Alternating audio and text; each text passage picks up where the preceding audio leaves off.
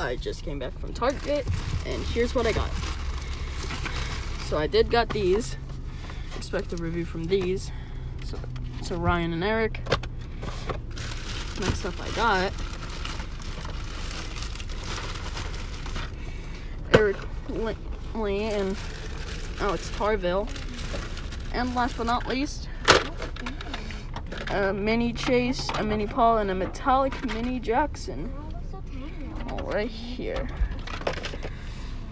So, and also I'm getting the 11 pack V5, so expect that to be soon.